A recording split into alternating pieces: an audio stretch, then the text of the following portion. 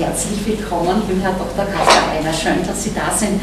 Gerade in Zeiten wie diesen, wo man äh, sehr beschränkt ist, danke ich Ihnen allen, dass Sie hierher gekommen sind. Wir haben uns bemüht, die Sitzplätze so weit als möglich auseinanderzustellen. Mit der Maskenpflicht, glaube ich, ist, äh, wird das alles gut gehen, nehme ich an.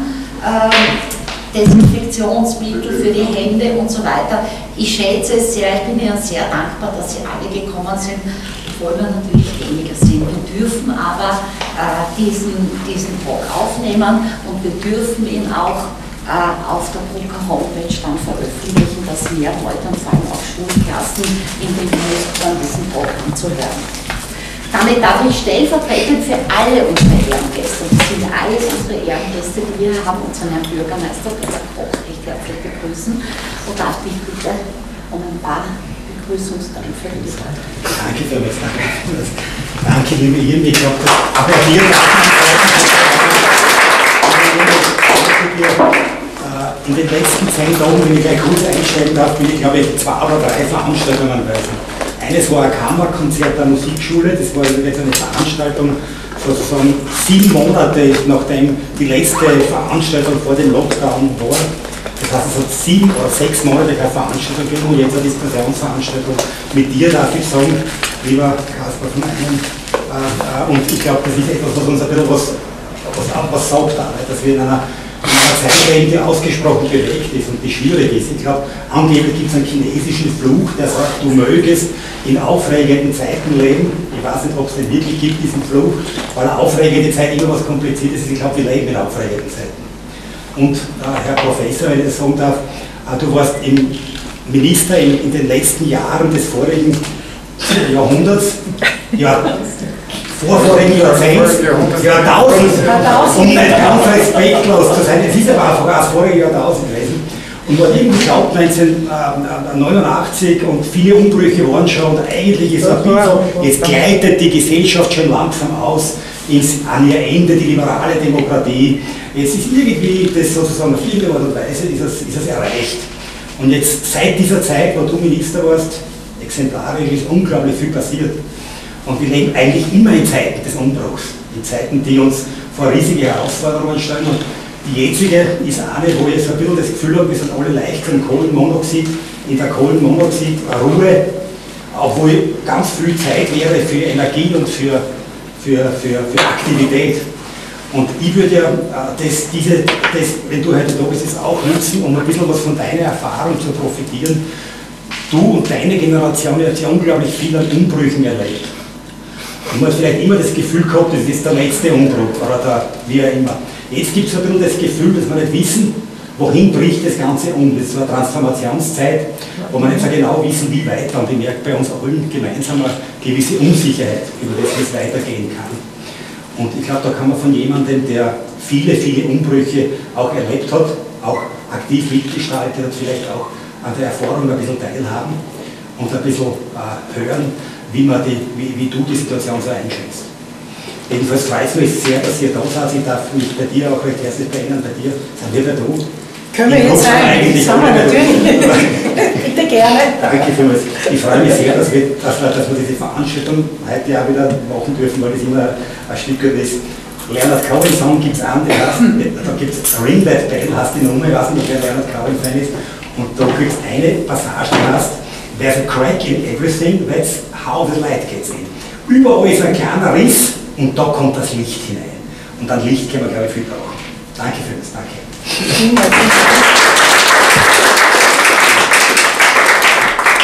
Ähm, ja, Herr, Herr Dr. Einen, äh, Sie sind unser Licht, unser Lichtblick in dieser Zeit, äh, die wohl den Namen Corona trägt. Ja äh, und eigentlich ja auch Leuchten und Sternenbanner äh, darstellen sollte, aber wir lernen Corona jetzt von einer ganz anderen Seite kennen.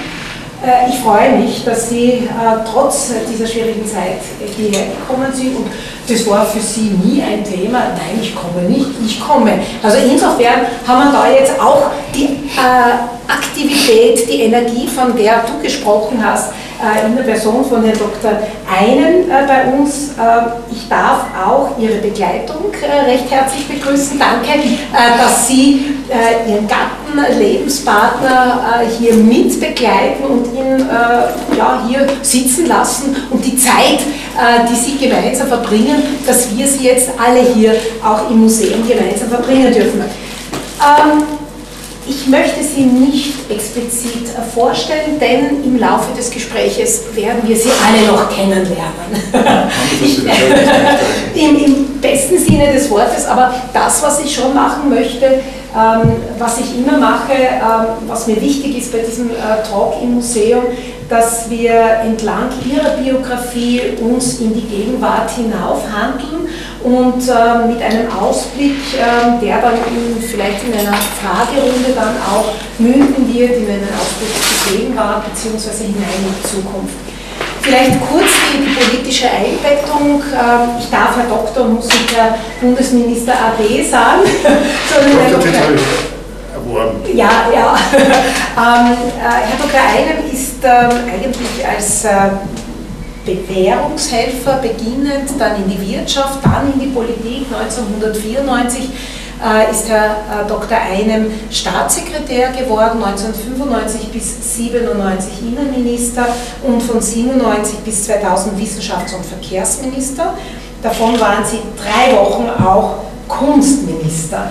Das waren alles die Regierungen, damit wir das dann auch einbetten können, Regierungen Branitzky-Busek, Branitzky-Schüssel bzw. Klimaschüssel.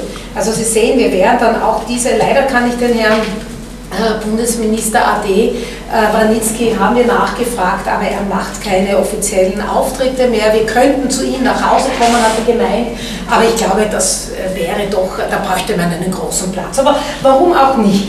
Ähm, Herr Dr. Einen, äh, eine, eine Eingangsfrage. Am 20. Jänner fand der erste und vor Corona auch der letzte äh, Talk im Museum statt äh, mit einem Politiker, der, so wie auch Sie, in Salzburg geboren wurde, in Salzburg auch lebte. Es ist jemand, den Sie sicher kennen, Friedhelm Frischenschlager. Und ich stellte nicht nur ihm, sondern allen auch äh, die Eingangsfrage, was verbindet sie mit Bruck an der Mur? Oder andersrum, war Bruck an der Mur für sie nur ein, ein Verkehrsknotenpunkt auf dem Weg nach Schladming, wo sie ihr Gerichtsjahr absolvierten? Oder nach Wagrein, wo sie als Skilehrer tätig waren?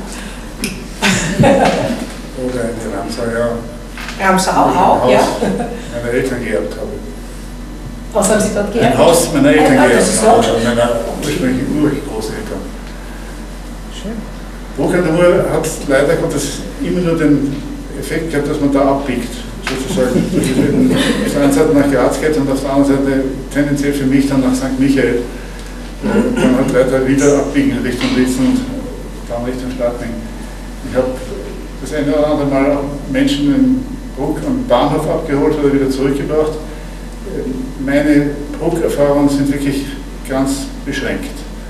Äh, ich bilde mir allerdings ein, es kann allerdings sein, dass ich mich dabei täusche, ich habe mit dem seinerzeitigen Bezirkshauptmann von Bruck äh, zu tun gehabt, der Zeit, wo ich Innenminister war, und der hat mir geholfen, äh, eine Postenbesetzung in Wien äh, adäquat umsetzen zu können, äh, indem ich so getan habe, als ob ich ihn berufen würde zum Polizeipräsidenten von Wien das hat sofort Panik ausgelöst bei allen. Ich habe nur das nicht.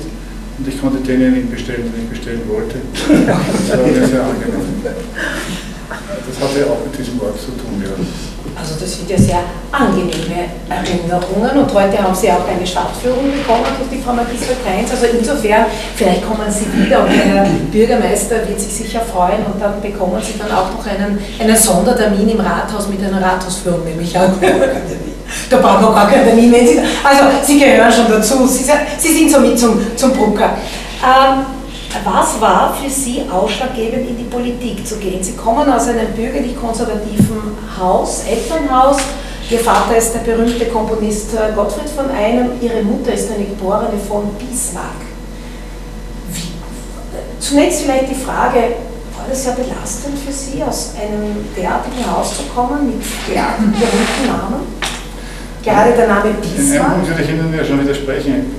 ich sehe das nicht als ein konservativ äh, bürgerliches Haus, ich sehe es als ein Haus einer, einer Künstlerfamilie, meine Mutter hat auch Komposition und Klavier studiert, äh, die in politischen Fragen einerseits bis zum gewissen Grade naiv, mein Vater war bis zum Lebensende in dieser Hinsicht naiv, er hat seinem Herz gefolgt, was man durchaus auch positiv nennen kann. Er hat überhaupt gar kein strukturiertes politisches Bewusstsein gehabt. Er hat ein Gefühl gehabt für Dinge, die er richtig und die er falsch gefunden hat. Und er hat ein Gefühl gehabt für Menschen, die ihm wichtig waren und die er entweder geschätzt hat oder nicht geschätzt hat. Und da sind eben sowohl konservative als auch sozialdemokratische Partei gewesen. Er war ein Kreisky-Anhänger in der Phase, wo Kreisky dann Bundeskanzler geworden ist und versuchte das zu bleiben. Er war aber auch ein Anhänger von Mock, um ein anderes Beispiel zu nehmen, oder mit dem damaligen niederösterreichischen Landeshauptmann Ludwig gut verstanden, oder eben auch mit Kurt Waldheim, was ich in der Präsidentschaftswahlzeit nicht besonders gut verstanden habe, weil ich ein Anhänger von Kurt Steirer damals war. Äh, und er mir nicht erklärt hat, warum er ein Waldheim-Anhänger ist. Mittlerweile weiß ich es, aber damals war es ein heftiger Konflikt. war es für mich schwierig, aus einer Familie kommend in die Politik zu gehen. Das war für mich nicht schwierig. Es war schon schwierig, sozusagen äh, ein Kind eines berühmten Vaters zu sein und äh, noch dazu Kaspar zu heißen. In der Schulzeit ich mir dann ständig der Kasper, jedenfalls in den unteren Klassen. Äh, berühmte Väter lassen dann auch die Frage so relativ leicht zu, ob man selbst auch irgendwas drauf hat, dass man das schaffen könnte, ähnlich der Vater oder so. da war ich allerdings stolz genug zu sagen, ich werde schon einen Weg finden, dass ich selbst der eine bin und nicht nur äh, der Apfel, der nicht vom Baum weggekommen ist. Äh, das war nicht ein zentrales Problem und in die Politik bin ich ja auch nicht in der Weise gegangen, dass ich plötzlich einen Schritt gesetzt habe und war drin, sondern wie schon berichtet, ich war in meiner allerersten Berufstätigkeit nach dem Jus-Studium, war ich Bewährungshelfer. Was überraschend ist, weil normalerweise macht man das nicht, statt, nicht nach einem Jus-Studium, sondern wenn überhaupt gleich nach der Matura oder nach irgendeinem Beruf, der dann äh, in diesen Beruf führt. Ich war ein begeisterter Strafrechtler während meines Studiums. Ich war aber steppert und auch meine Professoren waren nicht wirklich äh, in der Lage, mir wirklich zu vermitteln, dass man Menschen auch wirklich einsperrt. Also wie ich dann das erste Mal Gelegenheit gehabt habe, in, einem Straf in einer Strafvollzugsanstalt, in dem Fall in Deutschland, ein ausführliches Praktikum zu machen und mit relativ vielen Gefangenen da zu tun zu haben und auch einen Schlüssel zu haben, mit dem ich in alle Zellen gehen konnte damals, äh, habe ich relativ sehr viel gelernt und bin dann eben auch durch eine Verkettung von Zufällen bei der Bewährungshilfe in Österreich gelandet und habe auch hier zum Teil soziale Verhältnisse kennengelernt, vor allem in der Zeit, wo ich äh, in Bischofshofen äh, sozusagen meinen Sitz gehabt habe und im Umgang mit Pinskau Bewährungshelfer war. Äh, die mich außerordentlich beeindruckt haben. Äh, eine Armut, die beängstigend war, die mir vollkommen fremd war in dieser Form. Äh, Sozialverhältnisse mit 15, 16 Kindern in einer Familie, die vorne und hinten kein Geld gehabt hat äh, und Kindern, die trotzdem zum Teil ganz gut geworden sind. Also, das war der Hintergrund, warum ich begonnen habe, mich auch stärker politisch zu interessieren. Es kam dazu, dass in der Bewährungshilfeorganisation, die zweifellos damals relativ sozialdemokratisch angehaucht war durch verschiedene, durch die Leiterin und durch die enge Freundschaft mit Christian Broder. Äh, es gab dort Personalvertretungswahlen, bei denen äh, nicht nur die SPÖ-Fraktion, sondern auch die Schwarzen, aber darüber hinaus die Maoisten und die traditionellen Kommunisten und noch eine linke Liste angetreten sind. Äh, das heißt, es war ein überwiegend linker Verein, auch unter den Währungshelfern. Und ich habe mich dort durchaus wohlgefühlt, bin aber damals keiner Organisation beigetreten und habe dann letztendlich am Tag nach meiner Kündigung in der Bewährungshilfe äh, bin ich dann der SPÖ beigetreten. Das war 1977. Das war 1977. Ja. Ich darf aber noch einmal auf die Familie zurückkommen, nämlich auf den Namen Bismarck. Da gab es ja eine interessante Begegnung mit dem damaligen Innenminister, also in ihrer Zeit mit dem Herrn Manfred Kanter, mit dem Deutschen. Ich glaube, unser Publikum, ähm, unser Publikum wird es interessieren, wie das damals diese Begegnung mit Herrn Kanter war, als Sie Innenminister waren und ihn besucht. Naja, ich bin relativ kurz, nachdem ich Innenminister geworden bin, eingeladen gewesen nach Bonn, damals noch Bundeshauptstadt, äh, zu einer Veranstaltung der, Europäischen, äh, der Vertretung der Europäischen Union in Bonn. Zu einer Diskussion, Diskussion mit mehreren Teilnehmern. Und weil ich da schon in Bonn war, habe ich gesagt, dann besuche ich auch gleich meinen Amtskollegen Kanter, weil man dazu sagen muss, das war indirekt auch für mich eine spannende Zeit, weil kurz vorher war der sogenannte Tatplatzskandal mhm. bekannt geworden, aufgebrochen. Und manche haben mich also als linksextremen Wahnsinnigen gesehen, der da trotzdem immer noch Innenminister ist. Und Herr Kanter war ein CDU-Minister, der zugleich Vorsitzender äh, der CDU in Hessen war und der dann später als der Haupttreiber der illegalen Parteifinanzierung von Herrn Kohl in Erscheinung getreten ist. Das war sozusagen ein Ordnungspolitiker Politiker der allerersten Güte, der allen äh, die zu ihm gekommen sind oder auch die, die nicht zu ihm gekommen sind, erklärt hat, wo der richtige Weg angeht. Äh, ein Herrenreiter-Typ, der alles besser gewusst hat und da der oberste Mann für die Ordnung in diesem Staat. Korruptionist, Alter. Gut. Wir gehen also dorthin. Die österreichische Botschafter, übrigens damals ein Steirer, äh, warnt mich vor dem Kant, hat gesagt, hat nur jeden gefressen, zu ihm gekommen ist und hat jeden noch erklärt, wo der Weg angeht. Äh, ich soll mir nichts erwarten von diesem Gespräch, das kann nur schrecklich werden für mich. Und gut, wir fahren also in dem Turm, in dem er damals präsentiert hat, in den sechsten Stock, werden dort empfangen in seinem Arbeitszimmer. Es ist ein Tisch, der an einem Pfeiler steht. Seite steht der Tisch, sind rechts an diesem Pfeiler. Äh, jetzt nehmen wir Platz, er auf der einen Seite, ich auf der anderen, jeweils zwei Mitarbeiter. Und an dem Pfeiler hängt ein Porträt von Otto von Bismarck, dem Reichskanzler. Ich wusste, das habe ich gewonnen. Mein Kollege, das finde ich wirklich fantastisch von Ihnen, die hier unter dem Bild meines Urgroßvaters miteinander sprechen.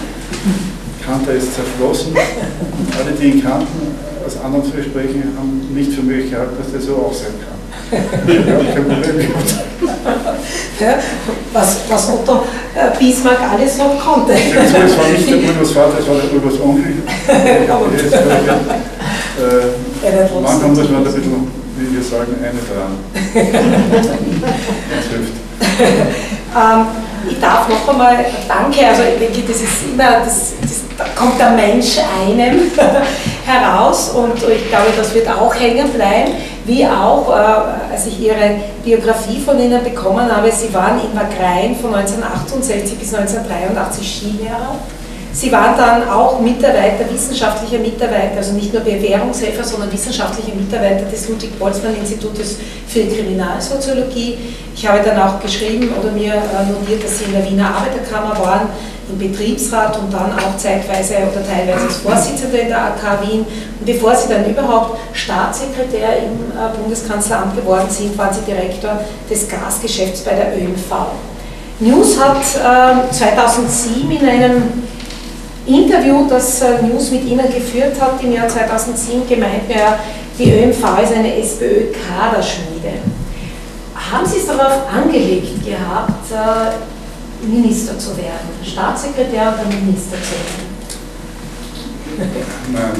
Äh, ist es passiert? Ja oder nein, nein. Ich habe im Scherz, habe ich öfter mal gesagt, mich wirklich der Justizminister Broder unglaublich beeindruckt hat, äh, dass ich gerne Justizminister werden würde, wie der Broder, weil er mir einfach imponiert hat. Es hat den Ernst meiner Berufsbahn nichts zu tun gehabt. Es war eine Sympathieerklärung, mehr nicht. Mehr, nicht. Äh, nein, natürlich habe ich es nicht darauf angerichtet, Staatssekretär oder Minister zu werden, sondern äh, ich hatte eigentlich nach elf Jahren Arbeiterkammer, äh, wo ich keinen unmittelbar politischen Job gehabt habe, sondern ich war zunächst mal Konsumentenschutz. Äh, Mitarbeiter, Jurist im Bereich der Konsumentenpolitik und bin dann Leiter der kommunalpolitischen Abteilung geworden, bevor mir Hannes Svoboda, der nachmalige Europaabgeordnete, äh, Leiter war und habe in dieser Aufgabe der Leitung der kommunalpolitischen Abteilung die Interessen der Arbeiterkammer gegenüber der Stadt Wien zu vertreten gehabt. Das war ein harter Job, weil das war unter Roten. Allerdings die einen haben gewusst, dass sie die Wahrheit haben und die anderen der Arbeiterkammer haben geglaubt, dass sie auch gelegentlich Wahrheit haben und auch sagen dürfen, was sie für richtig oder was sie für falsch haben. Hat schwierig sein können. Äh, ich war in dieser Zeit, also bevor ich Leiter der kommunalpolitischen Abteilung geworden bin, war ich auch Betriebsratsvorsitzender in der AK. Äh, eher überraschend für mich, muss ich sagen. Es war eine Urwahl dem vorangegangen, aber die meisten vorangegangenen Mitglieder des Betriebsrates nicht mehr kandidiert haben. Und dann musste eine neue Mannschaft aufgestellt werden. Bei der Urwahl habe ich gewonnen und bin daher dann nachher Betriebsratsvorsitzender geworden. Äh, auch das hat mich nicht disponiert, Staatssekretär oder Minister oder Abgeordneter zu werden. Das hat mir allerdings erste durchgreifende demokratische Erfahrung beschert. Muss ich schon auch sagen, ich muss diese eine äh, auch erklären. Wir waren gerade in dem neu gewählten Betriebsrat, dessen Vorsitzender ich war, äh, ins Amt gekommen, als die 44. ASVG-Novelle in Kraft getreten ist, die dazu geführt hat, dass alle ASVG-Versicherten eine schlechtere Pension bekommen haben. Es war eine Pensionsreform, die dazu geführt hat, dass alle etwas weniger gekriegt haben. Die einzigen, die davon nicht betroffen gewesen wären, wären die Mitarbeiter der Arbeiterkammer gewesen. Und die werden zu 100% aus Beiträgen genau dieser Zielgruppe, die dabei schlechter gestellt wurde, finanziert. Wir hatten allerdings in der, in der Betriebsordnung, Besoldungs- Pensionsordnung der Arbeiterkammer einen Passus, der festgelegt hat, dass wir mit, den letzten, mit 80% des letzten Ist in Pension gehen. Das heißt, uns hätte das überhaupt nicht getroffen. Und richtigerweise hat der damalige Präsident Zettel gesagt, das geht so nicht. Ihr müsst auch wenig, mit weniger zufrieden sein. Wenn wir alle, die euch zahlen, kürzen, müsst ihr auch gekürzt werden. Für den Betriebsrat war das eine schwierige Situation. Wir haben das inhaltlich eingesehen, äh, weil wir auch gefunden haben, das ist nicht okay. Aber wir hatten Vertragsschablonen als Grundlage unseres Vertrages. Das heißt, in Wirklichkeit, rein rechtlich betrachtet, musste jeder Einzelne zustimmen, wenn man das ändert. Und ja, schwierige Ausgangsposition. Wir haben trotzdem einmal so agiert, als ob wir gemeinsam entscheiden könnten, haben ein Konzept entwickelt. Also die Arbeitgeberseite hat uns Vorschläge gemacht, was sie sich vorstellen würden. Wir haben dazu ein Konzept entwickelt, haben dieses Konzept in einer Betriebsversammlung vorgestellt. Ich habe extra für diesen Zweck vorher einen Commodore-Computer gekauft, um ausrechnen zu können in der Betriebsversammlung, was äh, das bedeuten würde für einzelne Leute. War spannend. Äh, nicht alle Details erzähle ich.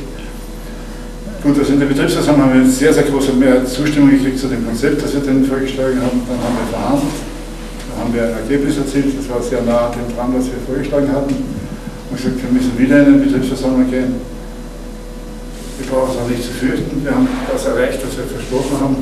Also wir gehen wieder in die Betriebsversammlung und es wird abgelehnt. Viel blöder kann man nicht warten als Betriebsratsvorsitzender, der zweimal in die Betriebsversammlung geht. Die Kollegen in den allen anderen Länderkammern, die das Gleiche mit uns verhandelt hatten und das gleiche Ergebnis erzielt hatten, sind nur einmal in die Betriebsversammlung gekommen, nämlich am Anfang und noch ein immer. Und haben daher problemlos das Ergebnis rübertragen können. Aber wir in Wien nicht. Und der Präsident war natürlich mit Recht angefressen und gesagt, ich verhandle kein zweites nur weil sie schlau sind, euer Ergebnis durchzusetzen. Auch nicht sehr lustig. Wir, letztendlich haben wir eine Verbesserung des Ergebnisses erzielt, aber es hat einer aus Wien geklappt. Und das hat gereicht, um das Ganze zum Kippen zu bringen. Der hat allerdings auch gezeigt, was er von Solidarität unter Arbeitnehmern versteht. Er hat verstanden, und rechtlich können Sie mich alle gerne haben. Es gibt nur das Recht, dass in auf meiner Seite steht und daher lasst euch hoch. Das war eine zentrale Demokratie-Lernstunde für mich. Etwas herb, muss ich sagen.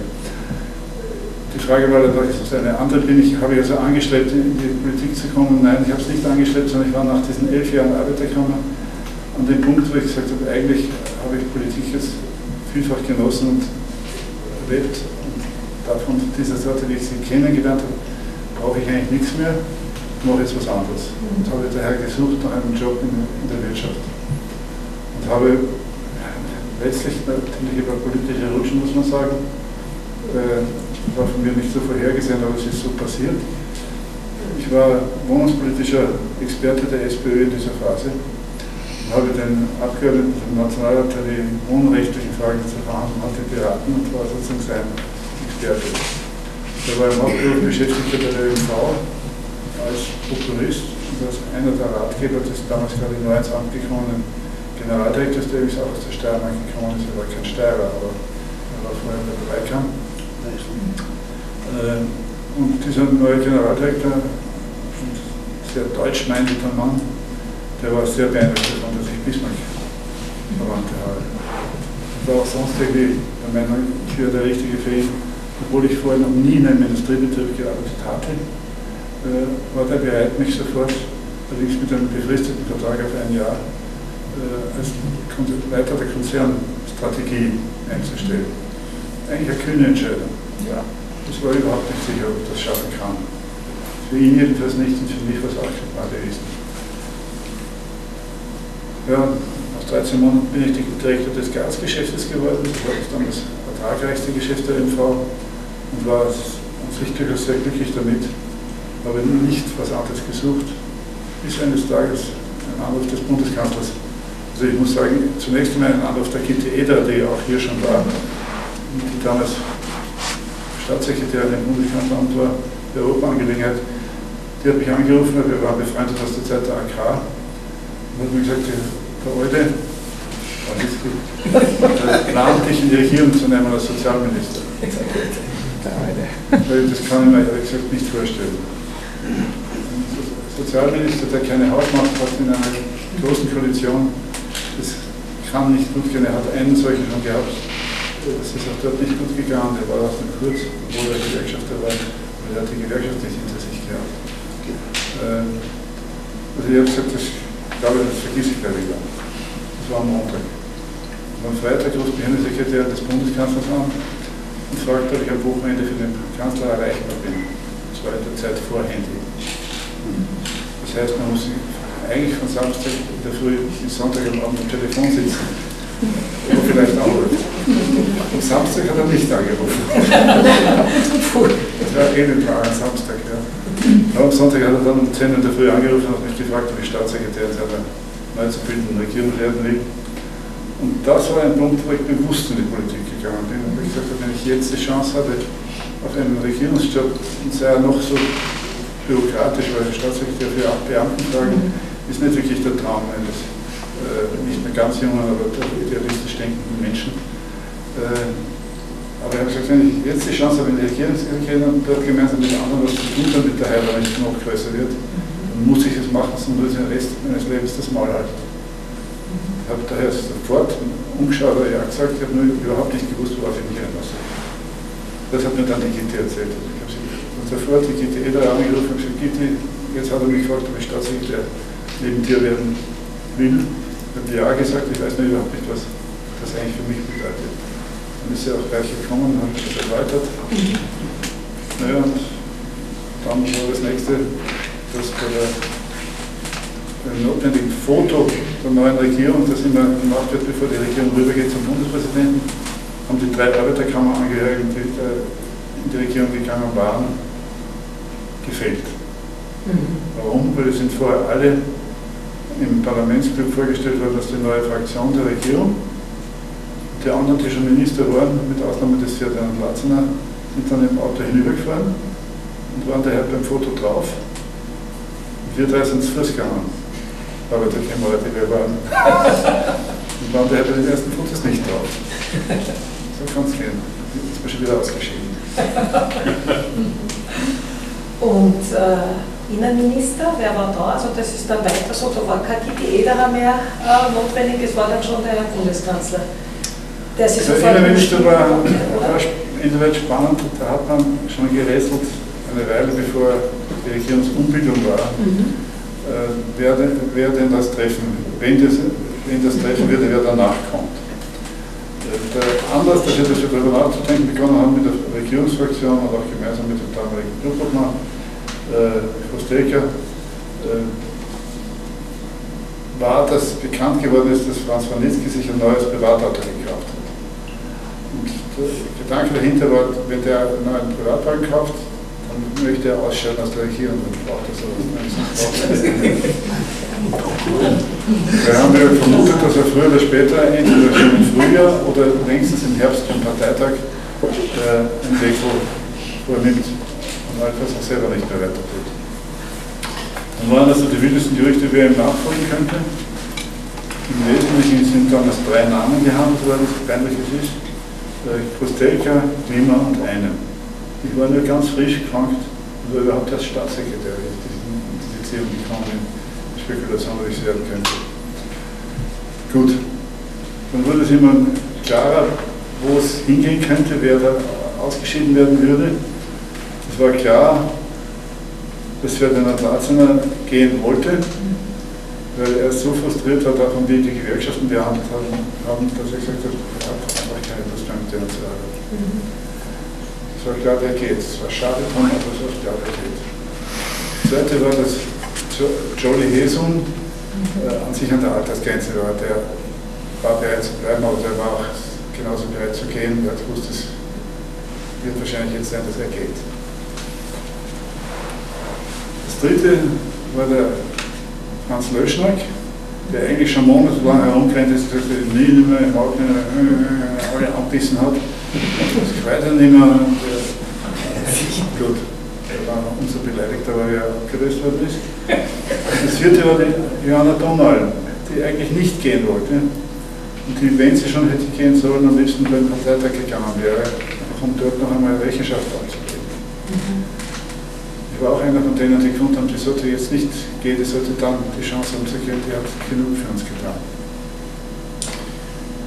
Gut, wenn man das Spiel schon im Kopf hat, dass es so ausgehen könnte, fragt man sich natürlich, wer kommt nach die einfachen Antworten gegeben. Also der Sozialminister des Charlie Heser kommt der Gewerkschafter nach.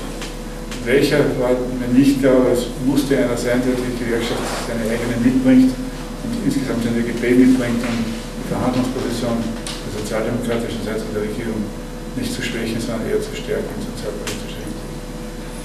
Ich habe nicht gewusst, dass das der Franz Hums werden würde, äh, aber es war auch eine gute Lösung. Die zweite Frage war, wer kommt statt des Ferdinand Platzener? Das war nicht so leicht zu beantworten, da bin ich auch nicht wirklich drauf gekommen. Es hätte irgendeiner sein können aus dem Kreis der weiteren Freunde, Freunde und ehemaligen Kollegen vom Bundeskanzler aus dem Managementbereich der Herr Staatsrecht oder Staatsnahe Banken oder sonst irgendwas, aber mir ist nicht wirklich niemand eingefallen dazu. Dann war die Frage mit dem Löschnack da war für mich nach einigem Nachdenken ganz klar, da kommt kein neuer. Innenminister wird kein frisch gefangter. Mhm. Innenminister wird jemand, der schon irgendwo im Spiel ist. Die Frage ist, wo ist er im Spiel? Entweder ist er schon in der Regierung, oder er ist in einer Landesregierung, oder er ist zumindest schon im Parlament. Es muss jemand sein, den wir schon kennen und der schon weiß, wie der Hase läuft ungefähr. Innenminister ist ein so heißer Job, dass da kein ganz neuer kommt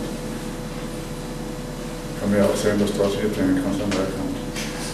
Ähm, na gut. Und bei der Johanna war ich der Meinung, dass, der, dass die noch nicht ausgewechselt wird. Damit war die Frage, wer, wer wird Innenminister? Das habe ich dann durchgezählt und bin zum Ergebnis gekommen, es kann mir passieren. Weil ich war schon im Spiel, mir ist kein anderer eingefallen, ich habe das meiner damaligen Frau erzählt, ich habe das macht was im Bescheiden. Und ich habe gesagt, wenn ich irgendjemand davon erzähle, dann ist es wie ein Kurzschluss und wär's. Gut. Hat niemand davon erzählt. Dann kommt die Woche, wo gewechselt wird. Am Samstag wurde gewechselt. Davor am Dienstag nimmt mich der Bundeskanzler zur Seite und fragt mich, ob ich Finanzminister oder Sozialminister werden will war sehr beeindruckt und war sehr stolz, dass ich diese Frage gestellt bekommen habe. Aber trotzdem sagen müssen, ich muss darüber nachdenken, ich brauche zumindest eine Nacht, bis ich ihm das sagen kann, das kann ich nicht sofort entscheiden. Ich habe mich wirklich zwei Nächte gequält, weil er hat keine Zeit gehabt am nächsten Tag.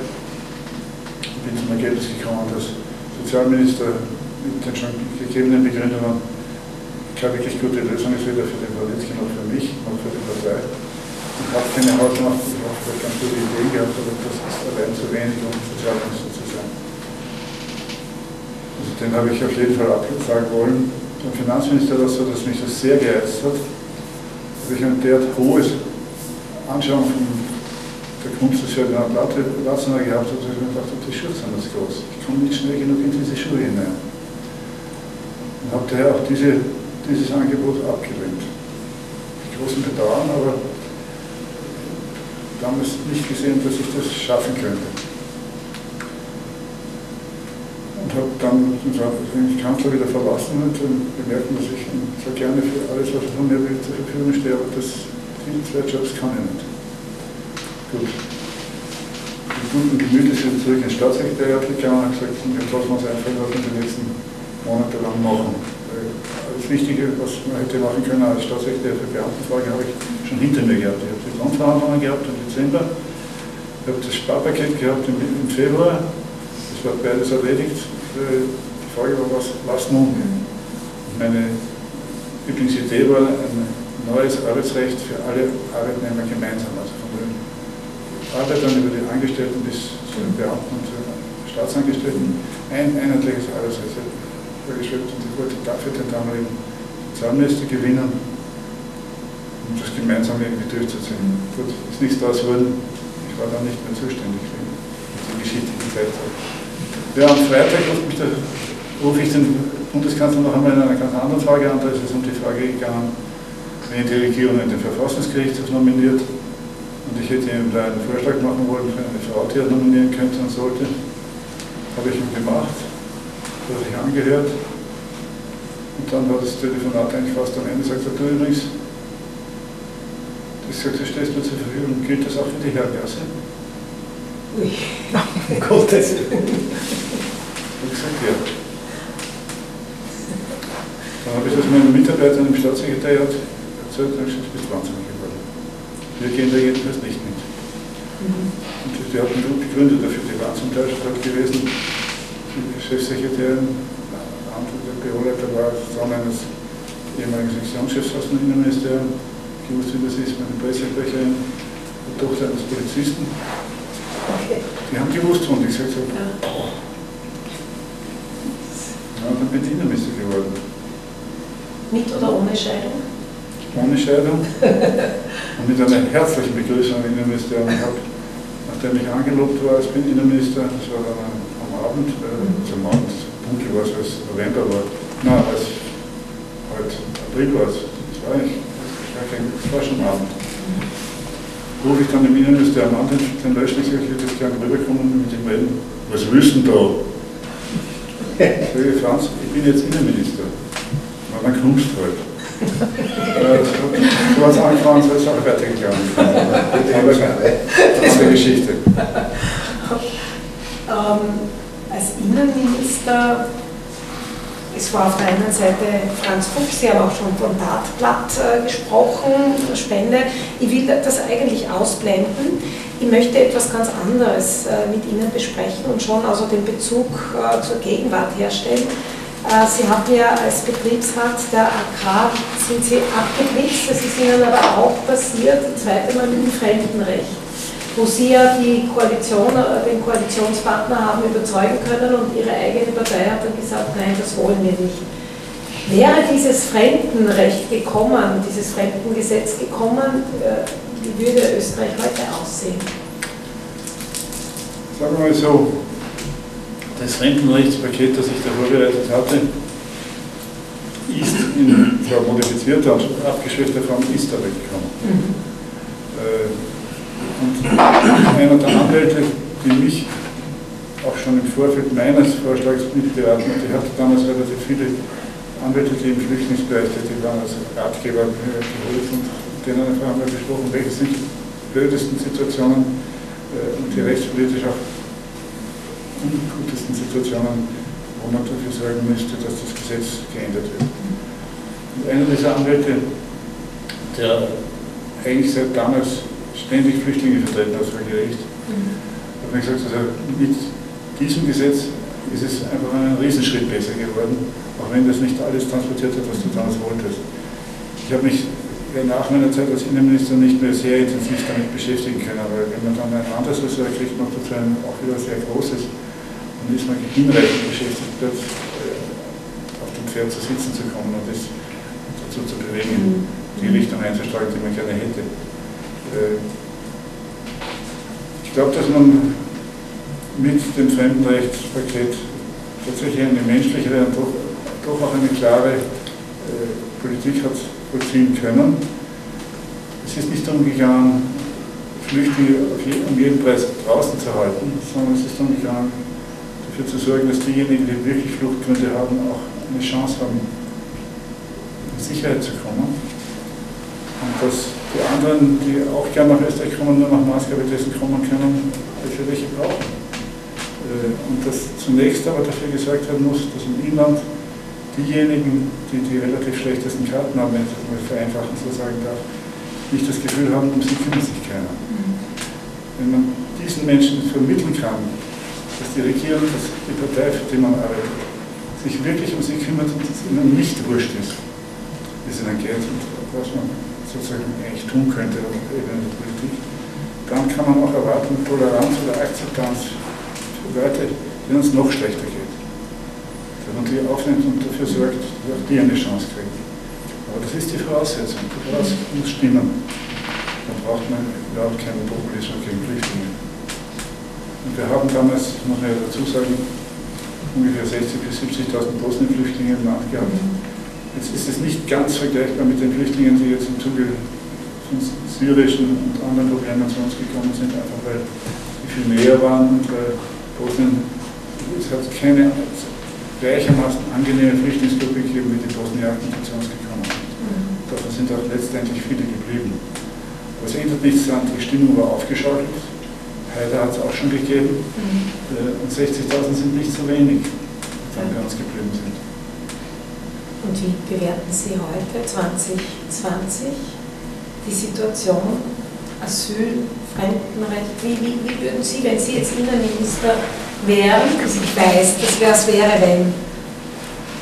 Äh, die Frage ist leider gerade nicht ganz leicht zu beantworten. Mhm. Ich persönlich bin der Überzeugung, dass es eigentlich notwendig wäre, eine europäische Lösung zu finden. Mhm. Und dass das momentan vollkommen verbaut ist. Äh, durch jeweilige nationalistische Egoismen. Äh, es ist nur lösbar gemeinsam und es müsste eigentlich gelöst werden, wenn man die Grundwerte, zu denen angeblich die Europäische Union und wir alle stehen, und das ernst nimmt. Flüchtling zu sein ist nicht irgendwas, was die Leute gerade machen. Ja, es gibt Leute, die versuchen, unter dem Ticket Flüchtling, also Asylsuchende, die unter dem Ticket Flüchtling den angenehmsten Weg ins gelobte Land finden wollen. Das haben wir damals auch schon gewusst. Dass sozusagen, wenn es einem gelingt, als Flüchtling anerkannt zu werden, ist er ihnen dann gleichgestellt. Das Beste kannst du nicht kriegen, wenn du auswandern willst.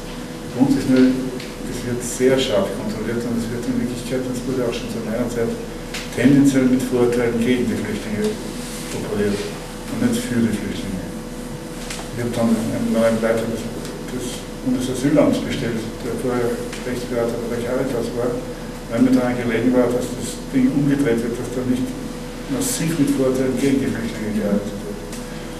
Aber das ist nicht ganz zufällig in der Ära äh, Kurz Strache nach 20 Jahren abgelöst worden, die er gut gearbeitet hat. Sie waren dann Wissenschaftsminister mit, ja, mit einer Kombination Verkehr. Wir hatten schon Wissenschaftsminister mit Kombination Wirtschaft. Ist nicht wirklich jetzt nachvollziehbar, gerade für mich als Wissenschaftlerin. Ähm, habe heute mit dem ehemaligen Dekan, äh, habe ganz stolz gesagt, dem, dem Gerhard Kocher, du, ich treffe heute den, den äh, ehemaligen Wissen, unseren ehemaligen Boss, ja, und er gesagt, oh, von dem hätte ich bald ein Disziplinarverfahren bekommen. das ist die eine Seite, mein Vater hat heute mit 89 Jahren gesagt, das ist ja ganz ein lieber gewesen. Also Sie sehen. Aber jetzt als Wissenschaftsminister, wie wechselt man äh, von wirklich jetzt einem heißen Job Innenminister, äh, kommt man äh, bekommt man dann das Wissenschaftsressort gemeinsam mit Verkehr? Das ist noch ein bisschen komplexer. Ja. Also die eine Seite ist, dass äh, der damalige Bundesminister für Verkehr, Viktor Klima, der im Wahlkampf 95 gefunden hat, Verkehr ist für ihn zu wenig. Er hat eh die Zuständigkeit gehabt für Verkehr und verstaatlichte Industrie, also Verkehr und Industrie. Aber das war ihm eigentlich zu wenig, er wollte etwas Besseres haben. Und die Kaiser-Idee, die er gehabt hat, das musste ein englischer Begriff sein, ist das Triple I Ministerium. Industry, Infrastructure and Innovation. Triple I. Also Infrastructure, Verkehr, Industry schon gehabt und Innovation, Wissenschaft gemeinsam mit dem damaligen Bundeskanzler haben die zwei also eine Pressekonferenz gegeben im Wahlkampf 95, wo sie dem staunenden Volk vorgestellt haben, dass jetzt das entscheidende Neuerung das Triple-I-Ministerium kommt. Schritt Nummer eins. Schritt Nummer zwei, zwischen Weihnachten und Neujahr geht der Finanzminister verloren. Das war ein gewisser Starrebacher. Der ist es damals geworden, wie ich es nicht geworden bin. Äh, und der ist zwischen Weihnachten und Neujahr, hat er gesagt, er mag nicht mehr. Geht zurück in seine, äh, seinen Beruf als Wirtschaftsprüfer Steuerberater. Äh, der Klima, ah, der Walnitzki hat sehr plötzlich einen Finanzminister gebraucht. Und zwar weil er hat, glaube die Wahlen gewonnen, 95. Äh, er hat hier das Zuwächse erzielt. Die höchsten Zuwächse habe ich damals ich erzielt, sage ich ganz bescheiden dazu. Aber das ist ein anderer Kaffee hat er also den Klima aus dem Hut gezogen und gesagt, der soll jetzt Finanzminister werden. Klima nicht faul, war, war klar, er kriegt kein Triple-I-Ministerium, aber die Industrie hat das mitnehmen wollen vom Verkehrsministerium. Also hat er sie mitgenommen ins Finanzministerium, zurückgeblieben ist das Verkehrsministerium zunächst einmal. Das hat dann der Rudi Scholten nehmen müssen, zusätzlich zu dem, was er gehabt hat, nämlich Wissenschaft und Kunst. Das war durchaus ein schlüssiges Ministerium, aber sie hat jetzt noch den Verkehr dazugekriegt, hat er Wissenschaftsverkehr und Kunst gehabt und hat das auch noch ein Jahr lang gemacht. Und ich habe Innenminister bleiben dürfen bei dieser Gelegenheit, obwohl mir der Krawinski schon damals angeboten hat, Wissenschaftsminister zu werden. Ich habe gesagt, bitte, jetzt habe ich das ein Dreivierteljahr durchgekämpft, jetzt komme ich endlich zu dem Punkt, wo auch welche mir folgen wollen. Ich würde das schon gerne weitermachen. Es war auch ein nächtliches Telefonat. Ich war auf Urlaub in der Ramsau der ruft mir an, fragt mir das, ich sage ihm das, was ich jetzt zitiert habe. Und der ruft mir an. Ich war mitten in den Schlussverhandlungen für die Regierungsbildung. Am nächsten Morgen stehe ich auf. Bin ich jetzt noch Innenminister oder bin ich jetzt Wissenschaftsminister? Bin ich auch nicht dabei. Ich schaue die Zeitung und ich konnte natürlich nichts drinstehen, weil ich war noch nicht so weit. Habe dann endlich den Rudi Scholten angegriffen und gesagt, Rudi, bist du noch Wissenschaftsminister? Ja. Wunderbar, sage ich. Und willst du das wissen? Ja, nur so. zum Bundeskanzler angerufen, ich lade dich ein, in einem neuen Kabinett Innenminister zu sein. Gut. Es vergeht ein Jahr, dann ist es geht wirklich. Wir haben das auch wiederum eigentlich erst im letzten Moment erfahren. Äh, nein, kein neues Auto, genau. sondern plötzlich ein Bundesparteipräsident überraschend einberufen. Ja, also dort hat er jedenfalls Herrn Rückwitz erklärt und den Klima als Nachfolger vorgeschlagen, was ihm nicht leicht gefallen ist. Und äh, ja, dann hat der Klima begonnen, sein neues Team zusammenzustellen. Einerseits hat er die steirische Frauenministerin, Lydia Konrad, hat eine sehr unangenehme Art und Weise einfach rausfallen lassen. Hat sie erstens ja nicht gesagt, sondern hat es andere sagen lassen, das war ich, der ihr gesagt hat. Und hat zweitens nichts getan, um irgendeinen Finger zu rühren für ihr weiteres politisches Schicksal, weil das Mandat war auch weg, das sie gehabt hätte.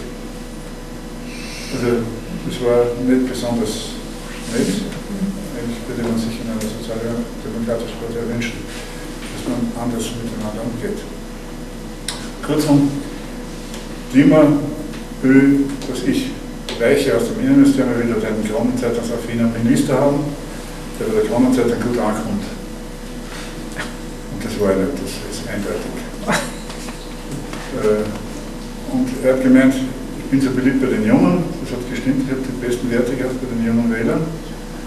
Äh, daher sollte ich Wissenschaftsminister werden. Und ich sagte, lieber Richter, das ist eine hübsche Idee, so gut kann ich gar nicht sein, dass ich Wissenschaftsminister Punkte, so viel Geld kriege ich nicht hier. Vom Finanzminister. Das, was mich da attraktiv macht bei den Jungen, ist, dass ich Innenminister bin und zwar andere als die, die das früher gegeben hat. Das wäre die richtige Antwort. Nein, das wäre wirklich anders. Wir haben zwei Stunden lang gerungen, dann habe ich nachgegeben und habe gesagt, wäre Wissenschaftsminister, Wissenschaft und Verkehrsminister. Tatsächlich aber ist ja der Rest, der geblieben ist, nach Scholten Wissenschaftsverkehr und Kunst gewesen. Bei der Kunst hat er Klima gefunden, die nimmt er sich selber, weil er hat so ein Technokraten-Image und das möchte er am liebsten ein bisschen loswerden. Wenn er die Kunst nimmt, verliert er diesen technokratischen Bild. Vollkommen verrückte Idee, aber äh, hat ja auch nicht funktioniert. Äh, ja, dann ist er Bundeskanzler mit Zusatz Kompetenz für die Kunst geworden und ich bin also Wissenschafts- und Verkehrsminister geworden und habe allerdings in den drei Wochen, die ich auch Kunstminister war, zwei entscheidende Erlebnisse gehabt. Das eine war, ich habe den Opernball eröffnet. Nicht, dass das was Besonderes ist, wenn Regierungsmitglieder den Opernball eröffnen, das sind immer alle da oben in der Loge. Der, Bundes, der Bundespräsident war krank, konnte nicht, durfte das Haus nicht verlassen, das Opernhaus nicht betreten. Und der Viktor Klima war damals hat sich gefürchtet vor der Funktion, vor dieser Funktion und ist zur niederländischen Präsidentschaft nach Amsterdam, nach Den Haag geflogen. Daher war ich Hausherr in der Oper als Kunstminister und ich war der dienstälteste Minister auf der roten Seite. Und daher war ich derjenige, der in der Mitte der Regierungsloge gesessen ist. Und ich war derjenige, der das erste und einzige Mal Macht ausgeübt hat. Wenn die Eröffnung, ob man da zu Ende war und diese schwarz-weißen Tänzer aufhören, also die schwarze Ballett sind die Jungeröffnung, die ja entweder in weiß oder in schwarz gekleidet waren, fluten diese bunten Massen auf die Tanzfläche. Das ist einfach optisch ein wunderbares Bild. Ich bin daher sitzen geblieben und habe zugeschaut, fasziniert. Mir ist nur aufgefallen dann irgendwann, dass alle anderen neben mir auch sitzen bleiben. Neben mir ist der Justizminister gesessen. Ich wieso bleiben Sie denn alle sitzen? Sagt er, solange Sie nicht aufstehen, dürfen wir nicht aufstehen. ich sagte, dann bleibe ich da. Ich habe eine entgegenstehende Wette gehabt habe mit dem Rudi Scholten, dass ich das Haus vor Mitternacht verlasse und alle, vier, alle drei Betriebshauskörperschaften plus die Herausgeber der Zeitschrift Die Oper besucht haben würde, wenn ich das Haus verlasse. Wette habe ich gewonnen. Das war die eine Situation. Die andere Situation mit der Kunst, glaube ich auch nicht verschweigen. Eigentlich waren alle im Ministerium, also insbesondere der Kunstsektion, damals der nachmalige langjährige Stadtrat für Kunst und Kultur in Wien, weil er Programme geleitet hat, der Überzeugung, dass das nichts wird mit dem Klima als Kunstminister, dass der keine Ahnung hat und dass es besten ist, wenigstens in dem ersten Jahr, wo er es ist, das Geld, das zur Verfügung steht, für vernünftige Projekte ausgibt und nicht für Ehrenplätze. Ich habe die nächsten zehn Tage ausschließlich Budgetakten unterschrieben, die mir von der Kunstsektion vorgelegt worden sind und haben das gesamte Geld für 97 ausgegeben, der Klima es in hat. Dass ich bei, beim Victor Klima nicht allzu gut angeschrieben war, selbst. Ähm, Sie waren ja eigentlich dann recht jung für einen Politiker, als Sie sich äh, von allen politischen Funktionen 2007 äh, zurückgezogen haben. Sie waren 59 Jahre, Sie sind dann 2011 in Pension gegangen. Haben Sie niemals ein weiteres politisches Amt angestrebt? Wir kommen dann noch als, äh, in, in, zu Ihrer Position als Nationalratsabgeordneter, aber wollten Sie nie mehr Minister werden. Auch in einem Interview haben Sie, haben Sie Gusenbauer gefragt, was hast du mit mir vor? Nichts und dann sind Sie gegangen. Dann bin ich einfach gegangen, so das Standard, das 2007 auch tituliert. Aber selbst wollten Sie keine politische Funktion mehr ausüben. Selbst habe ich, na, die Frage der politischen Funktion stellt sich ja nicht in der Weise, ob man will oder nicht. Insbesondere der Minister, der, der Minister wird dann, der jeweilige Häuptling der eigenen äh, Bundeskanzler oder Vizekanzler wird und dann fragt er, was werden will. Mhm. Sonst wird man es nicht. Mhm. Das braucht man nicht anstreben, das nutzt auch nicht viel. Äh, nein, ich habe es auch nicht angestrebt. Mhm. Ich bin dann Abgeordneter geworden, ich habe äh, ja, hat eine erstaunliche Entwicklung gegeben.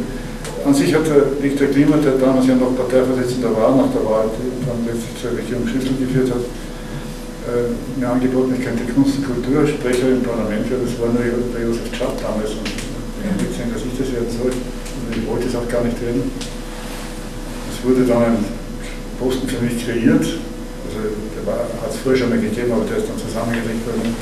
Der Peter Schieder, der war außenpolitischer Sprecher und war auch europapolitischer Sprecher. Der war ursprünglich zwei, dann hat Peter Schieder beide übernommen. Dann hat es wieder gespalten, sodass ich Europasprecher geworden bin. Damit war sichergestellt, auch für den Regionenbau, dass ich kein Konkurrent mehr bin, weil Europasprecher kommst du niemandem vor. Das habe ich vorher noch nicht so genau gewusst, aber das ist so. Äh, da bist du ohnehin schon fast ein Verräter, also die Europaabgeordneten gelten ja in der Partei überhaupt als Verräter, weil sie nicht ausschließlich das Lied vom Ballersplatz oder von der Löwenstraße singen, sondern in Europa auch verantwortliche Positionen einnehmen, die zum Teil nicht mit der innenpolitischen Situation übereinstimmen. Wenn man Europasprecher im Inland ist, ist man schon so nah an den anderen, dass man fast auch schon ein Verräter ist. Also gut, das war ja dann. Nicht ungern muss ich dann letztlich sagen, weil ich habe dadurch am Grundrechtskonvent und am Verfassungskonvent teilnehmen können als Vertreter des Nationalrats. Und ich bin ja in der Schlussphase, nachdem Peter Schieder nicht mehr angetreten ist bei der letzten Wahl, die ich selbst noch miterlebt habe, äh, auch außenpolitischer Sprecher geworden. Also ich habe die beiden wieder zusammengekriegt. Allerdings den Europasprecher zugunsten einer Steuerlehre wieder abgegeben. Äh, und äh, ja, ich war dann sehr gerne außenpolitischer Sprecher und Vorsitzender des Außenpolitischen Ausschusses. Das einzige Amt, das ich, wo ich, nein, man muss es anders sagen, ich verrate ein Geheimnis, das ich bis jetzt noch nicht gelüftet hatte. Äh, das Einzige, wo ich noch einmal ins Nachdenken gekommen bin, war nämlich ein ehemaliger Mitarbeiter der Parteizentrale und der Gitti Ederer insbesondere, Gitti Ecker, gefragt hat, ob er nicht überlegen möchte, für den Bundespräsidenten zu kandidieren. Und das, irgendwie ist das wahnsinnig. Und ich kann auch mit niemandem darüber reden, weil Privat ist es eh schon wieder vorbei. Es sei denn, dann habe ich mich beim Heinz Fischer angemeldet. Und habe gesagt, lieber Heinz, was hältst du denn von der Idee, dass ich mich für deine Nachfolge bewerbe? Und habe mir dazu gesagt, warum ich damals geglaubt habe, dass das vielleicht gar nicht einmal vollkommen abwegig ist. Weil ich davon ausgegangen bin, dass der damalige Bundeskanzler Feimann den Sozialminister Hunsdorfer nicht ziehen lassen wird, weil das an sich die stärkste Figur seiner Regierungsmannschaft war. Und dazu einer, der von allen Seiten anerkannt worden ist, als jemand, dem man vertrauen kann, der Handschreckqualität hat, der weiß, wovon er redet.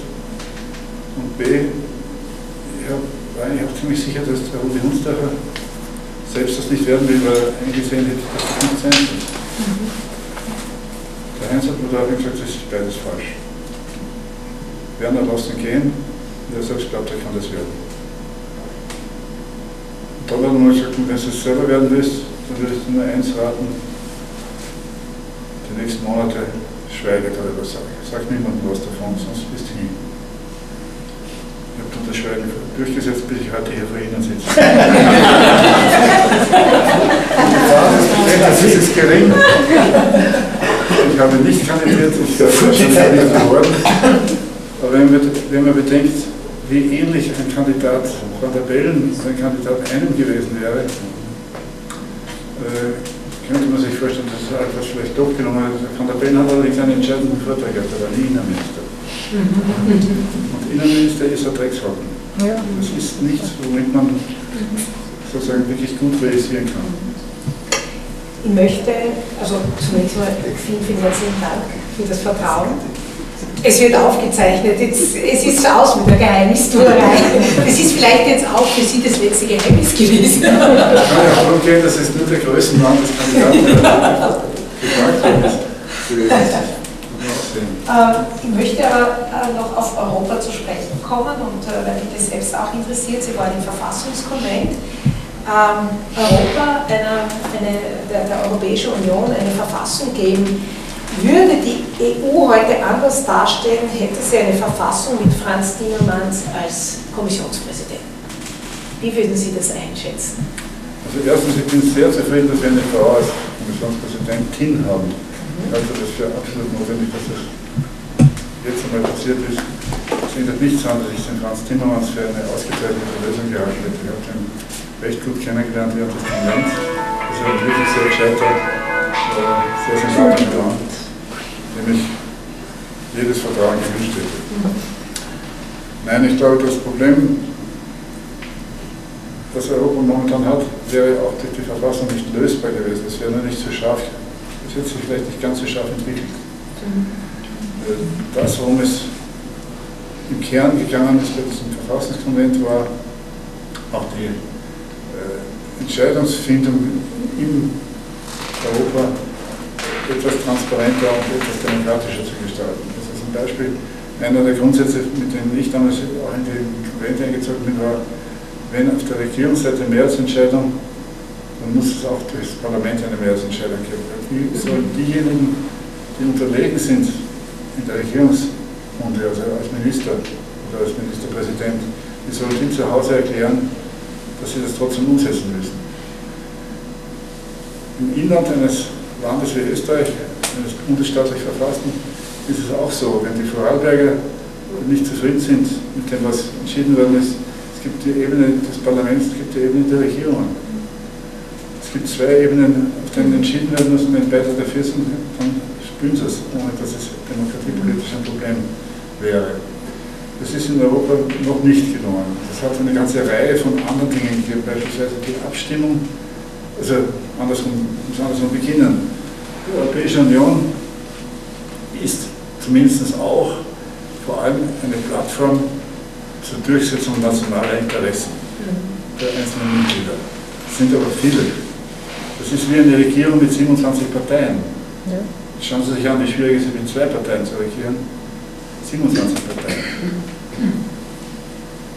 Und das, das hat sogar den Faden verloren, ähm, das, was wir ändern wollten, auch aus praktischer Einsicht, also in dem Fall, in meinem Fall aus der Einsicht, die ich schon als Minister gewonnen hat, der ich relativ viele europäische Ministerräte habe leiten und besuchen dürfen.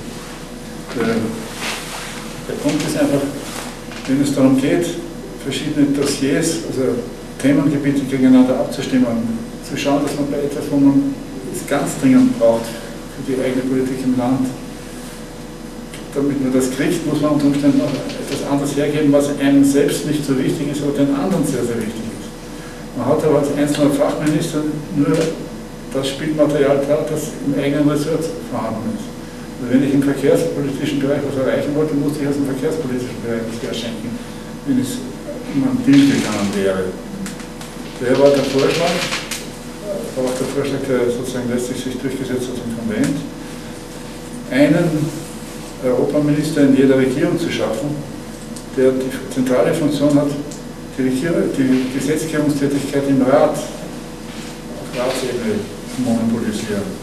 Das heißt, wenn ein Mitgliedstaat in der Agrar-, in der Verkehrs-, in der sonstigen Finanzpolitik irgendwelche Interessen hat, vertreten zur Abstimmung unter den anderen, mit den anderen, sollte es immer dasselbe, der alle Ressorts zur Verfügung hätte für diesen Zweck, oder zumindest das gesamte Spielmaterial, das national vorhanden ist, einsetzen könnte, um das, was die Regierung zu Hause will, auf eine vernünftige Weise im Verhandlungswege durchsetzen zu können. Das ist als allererstes abgelehnt worden von den Außenministern schon mit der Verfassungskonvention. Und das war bei vielen Dingen so, dass eigentlich ein bisschen voreilig äh, Dinge verworfen worden sind, die ganz gut überlegt waren.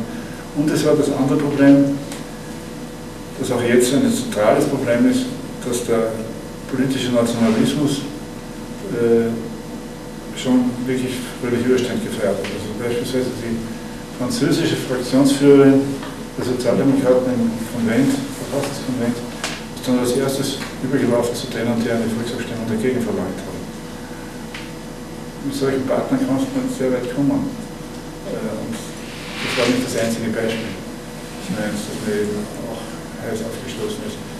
Nein, es ist schade, man hätte manche Sachen etwas besser und leichter haben können äh, als es jetzt der Fall ist. Das zentrale Problem ist allerdings, dass es momentan kaum Europäer gibt unter den äh, nationalen Regierungschefs oder Ministern, also vor allem Regierungschefs. Und ohne zumindest einen oder zwei echte Europäer, die die anderen mitreisen können, äh, kommen wir nicht wieder auf einen vernünftigen Pfad. Im Gegeneinander arbeiten führt zu nichts hin. Ja, an dieser Stelle schon ab.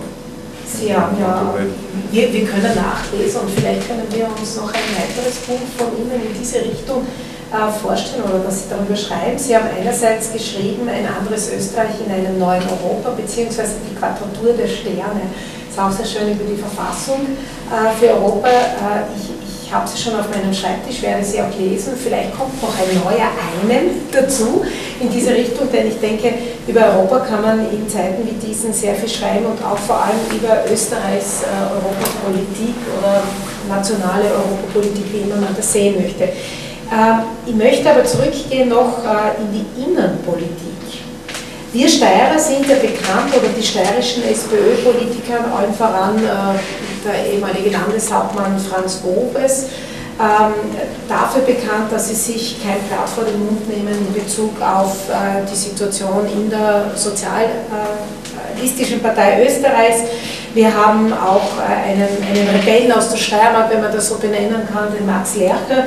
Sie selbst galten ja innerhalb der SPÖ auch als schwierig und eigenwillig, schrieben 1998 äh, das Buch Gegenwind auf der Suche nach der sozialdemokratischen Identität. Äh, wie sehen Sie heute die Situation in der SPÖ? Wo ist denn die Identität? Wie, Sie, wie würden Sie heute die sozialdemokratische Identität 2020 beschreiben wollen? Wir wollen täte ich nicht. Okay, äh, Sie müssen. Ich bin allerdings auch wieder von einer steirischen Zeitung.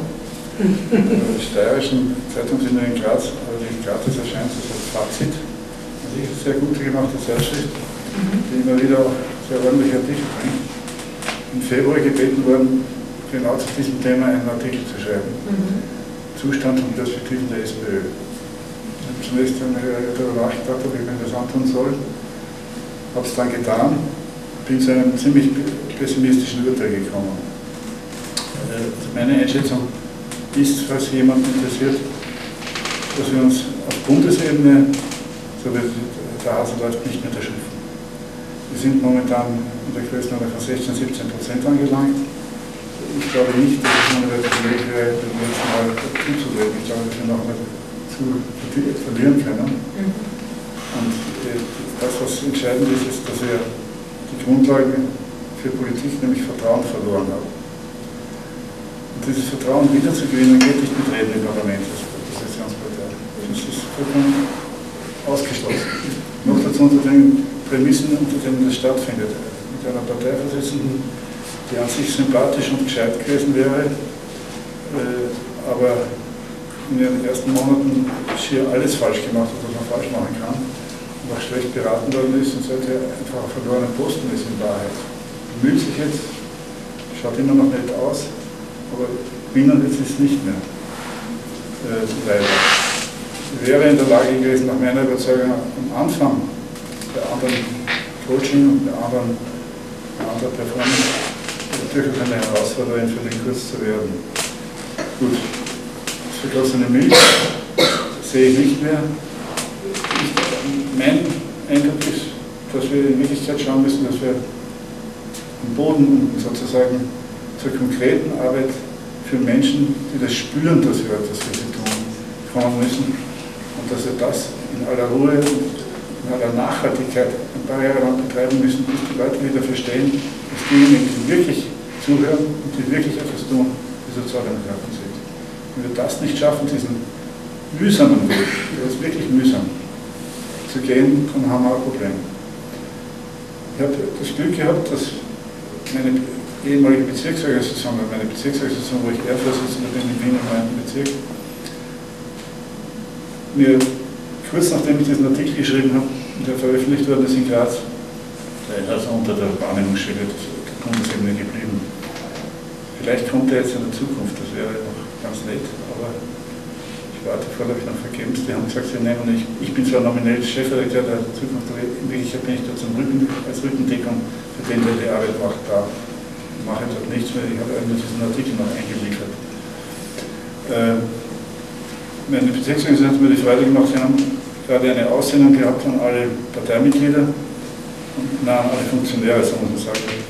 Sie mögen jetzt in Zeiten der Corona alle alten Parteimitglieder anrufen und sie fragen, ob, man ihnen etwas helfen darf. Ich sage, das hört sich wirklich von Sinn an. Alle Parteimitglieder und sonst niemanden. Müssen alle anrufen und ansprechen, die das brauchen können. Wir wollen ja nicht nur bei den alten Parteimitgliedern gerade noch einmal eine Stimme bekommen. Die haben daraufhin die Aussendung geändert und unmittelbare Effekt sie haben Facebook 400 Follower gekriegt, relativ rasch und 40 Leute sich gemeldet haben, das zu tun. Zu allen Leuten im Bezirk zu gehen, die allenfalls was brauchen könnten, um zu schauen, was es ist und ihnen zu helfen. Es waren nicht nur Mitglieder der Partei, sondern auch andere. Es ist relativ einfach. Es ist nur mühsames aufrechtzuerhalten. Man wird dafür nicht berühmt individuell. Man macht nur was Sinnvolles. Mitunter sollte das auch reichen. Mhm sozialdemokratische Bürgermeister applaudieren eigentlich. Äh, ich möchte, weil die Zeit ja auch schon vorangeschritten ist, auf äh, etwas zu, eine Frage noch. Ähm, nachdem Sie 2007 aus der Politik dann ausgeschieden sind, wechselten Sie wieder in die Privatwirtschaft und Sie wurden dann Gründer der Austrian Business Aviation Association und das hat mich doch ein bisschen verwundert, warum Luftfahrt, das hat ja mit der Ramsau eigentlich wenig zu tun, zumal ein äh, Berufswunsch von Ihnen gewesen war, Autobuschauffeur zwischen Ramsau, Dachstein und Schladming zu werden aufgrund der vielen Kurven. Wie kann man das mit einem Flugzeug jetzt bewerkstelligen? Das ist eine rhetorische Frage, würde ich sagen. Das ist der nächste konsequente Schritt, oder? ja. Nein, die, ist relativ, ja, für meine Welt relativ einfach.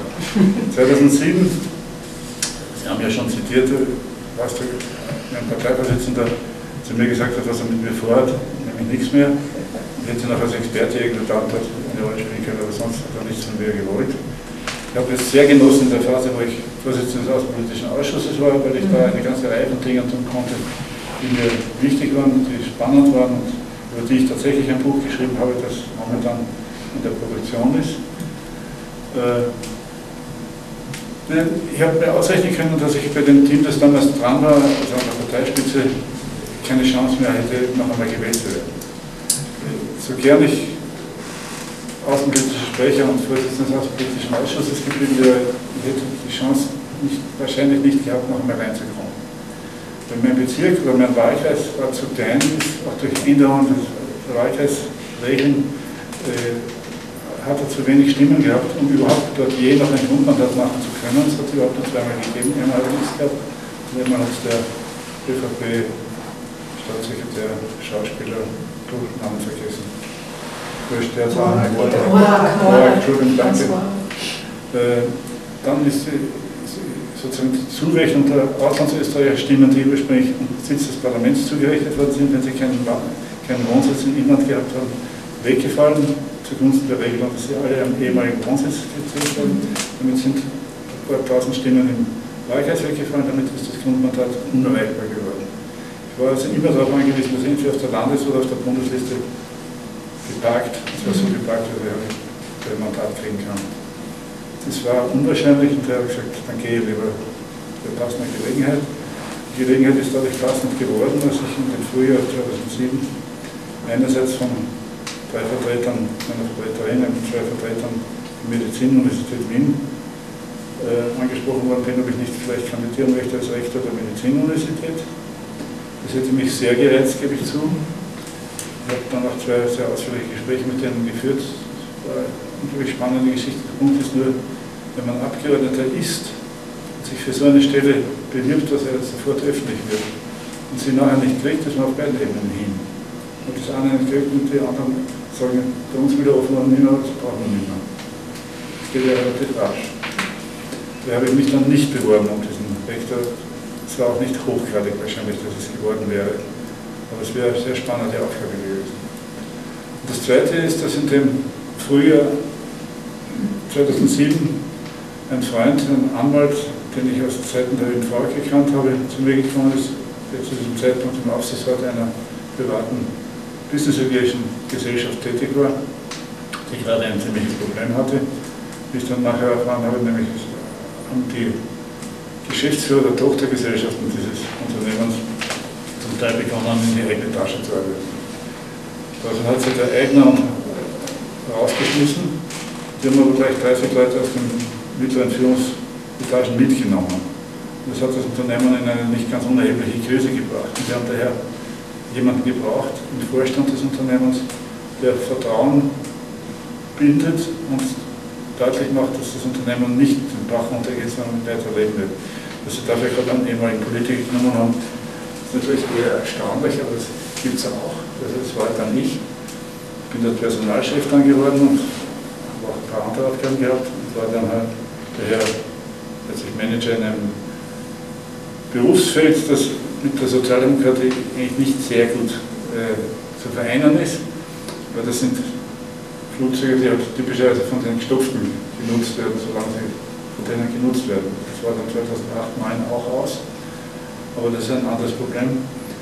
Und die Austrian Business Aviation Association, äh, die habe ich gegründet. Warum? Ich, ich habe gesehen, erstens, dass die Business Aviation Unternehmen in Österreich alle gegeneinander schier reden. Also die haben kein gutes Haar aneinander gelassen. Das ist für einen Berufszweig nicht sehr gescheit. Äh, das zweite ist, es hat eine europäische Business Aviation Association gegeben, wo ich relativ rasch in den Vorstand aufgestiegen bin, wie gesagt, ich würde das gern werden. Und dann haben wir gedacht, wir brauchen aber österreichische Gesellschaft einen Dachverband sozusagen von denen. Und dann habe ich gemeinsam mit dem damaligen Geschäftsführer, das ist auch heute noch äh, der Tirole, Tirolerischen Business Aviation Gesellschaft, mir ein paar Unternehmen, deren Geschäftsführer zusammengesucht. Wir haben gemeinsam beschlossen, wir machen sowas. Ich bin dann der erste Präsident gewesen.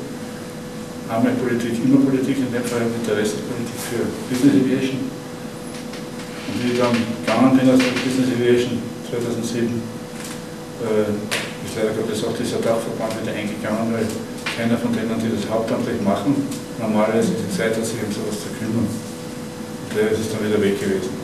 Ich habe genügend Luft gehabt dafür und ich habe andererseits genügend Erfahrung gehabt, solche Dinge zu organisieren.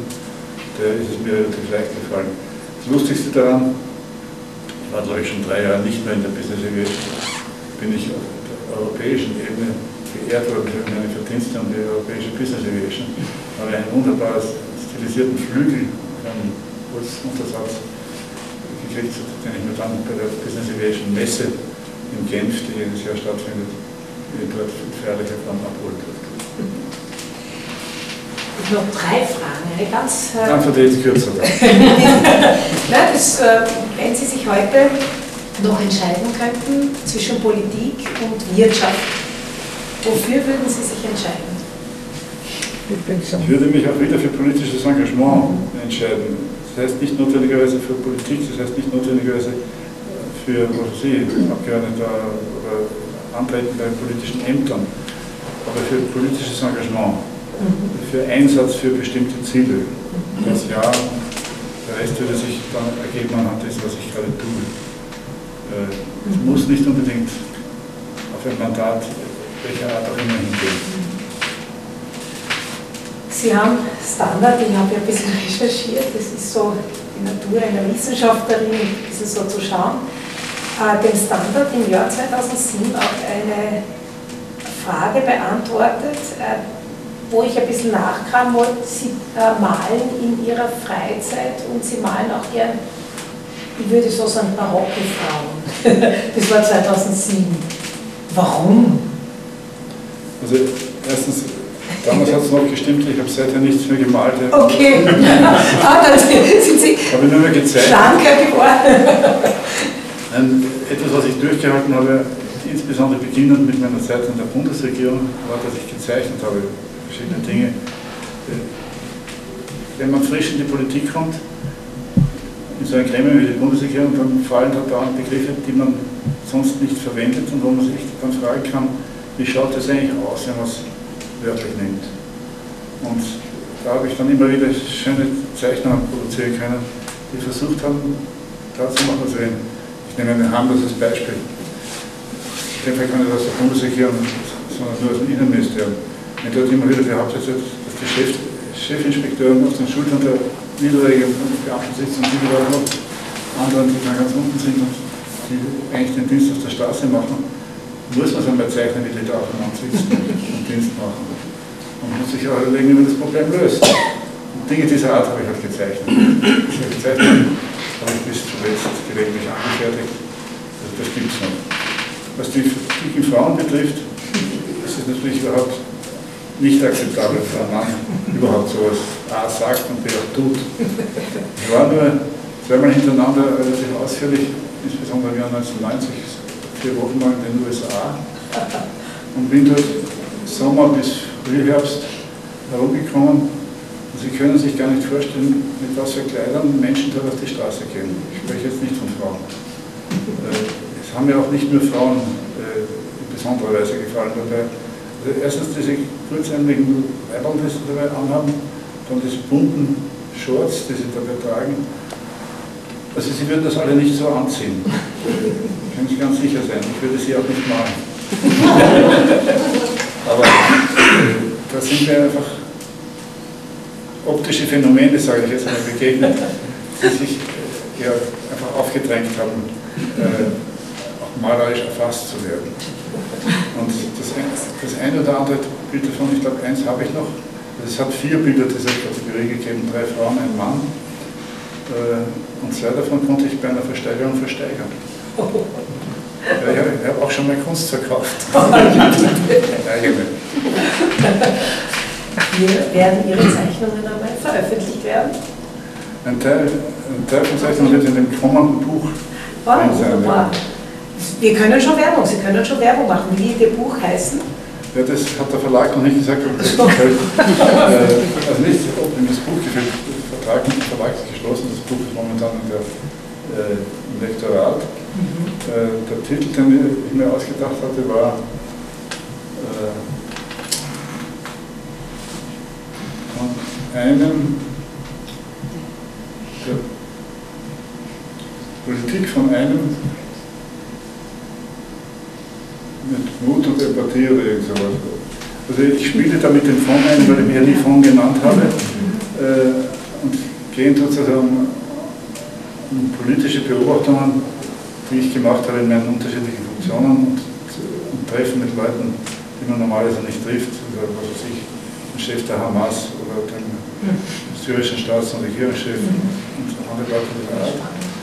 Und das ist an sich schon ganz spannend, das war alles 2007 und ist heute lang genug her, lässt aber einen Blick zu, ob man nicht damals im Rahmen der EU beispielsweise nicht doch einiges versäumt hat. Wo wird es erscheinen? In welchem Verlag? Beim Ibera Verlag. Okay, und wahrscheinlich ja, wird sich heuer noch ausgehen. Wir sind jetzt im Oktober, Lektorat. Das Lektorat ist es jetzt schon seit einem Monat, seit okay. August. Das müsste dann sich jetzt aus dem Lektorat bald einmal herauskommen. Das wäre ein Weihnachtsgeschenk. Genau. Ja, das haben wir schon Werbung, also wir wissen, was wir zu Weihnachten kaufen, einen, einen echten einen. Ursprünglich wollte ich Ihnen ein paar von meinen schon älteren Büchern hier heute mitbringen, ich war jetzt deppert dafür. Entschuldigung, ich habe es einfach stehen lassen mit dem Monatsausgang. Ach, das ist. Das steht ein Sack Innen. Hm? Innen. In der Wohnung, nicht draußen. Innen, ja. Das wäre auch hier nicht zum Verkauf gewesen, sondern zum, zum Geschenk. Oh, danke. Ich nicht mit, tut leid. Dann kommen Sie wieder. Da macht man wieder eine Einladung und das, das passt dann schon wieder. Dann können Sie Ihr Buch präsentieren. Ich kann das Neue dann mitbringen, genau. Genau, ja, machen wir eine Buchpräsentation. Ich möchte abschließend noch eine Frage an Sie richten. Ähm, und ich denke, wir alle haben diese, diese Aussage, die Sie einmal getätigt haben, auch schon wieder 13 Jahre her, ähm, die entspricht, äh, oder das, das fasst so schön dieses heutige Gespräch zusammen und, und den Menschen, den Politiker, den Bewährungshelfer ähm, Kaspar einen, nämlich es geht mir nicht darum, sichtbar zu sein, sondern darum, wirksam zu sein. Das ist ein wunder, wunderschöner Satz. Und äh, sie galten wirklich, also auch, ich glaube, für viele von uns als Minister für innere Werte und für soziales Gewissen in der SPÖ äh, sehr zurückhaltend. Wie gesagt, mein Vater mit 89 Jahren, das war ein ganz Lieber. Ich glaube, so haben wir sie alle in Erinnerung ähm, oder viele von uns in Erinnerung und eben mit dem sozialen Gewissen. Und wenn ich Sie jetzt rückblickend auch frage, wo waren Sie wirksam, wo sind Sie heute wirksam, worauf sind Sie ganz besonders stolz, ähm, was ist geblieben vom Innenminister, vom Wissenschaftsminister Kaspar Einem, worauf Sie heute stolz sind und wo wir Ihr Wirken äh, auch noch sehen und spüren? Also ich habe mir da aufgeschrieben, was Sie ja, da Das ist gar nicht so einfach. Ja, ist es denn mit dem Polizeipfarrer beispielsweise? Sind Sie darauf stolz, dass Sie als Innenminister den Ja.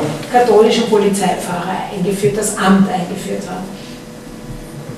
Gebe zu, da- darauf bin ich auch stolz. Ja. Ich bin auch stolz, dass diesen Caritas-Juristen zum Beispiel das Asylamt das gemacht wurde. Das ist einfach ein Stilwechsel. Mhm. Ein systematischer Stilwechsel. Der war, kein Weichmacher, sondern der war einer, den man nicht von Haus aus Misstrauen entgegenbringen konnte und sollte, dass der parteiisch entschieden wird, immer gegen die Flüchtlinge.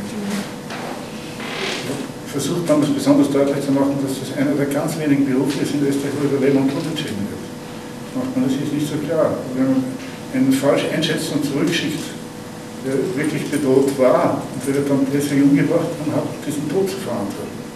Das muss man sich bei den Entscheidungen klar machen. Also es gibt eine Reihe von Dingen, die, wenn Sie so wollen, eher in den, in den Bereich kultureller Wirksamkeit gehen. Was mich stolz macht, oder was mich freut, stolz ist vielleicht der falsche Ausdruck, was mich freut,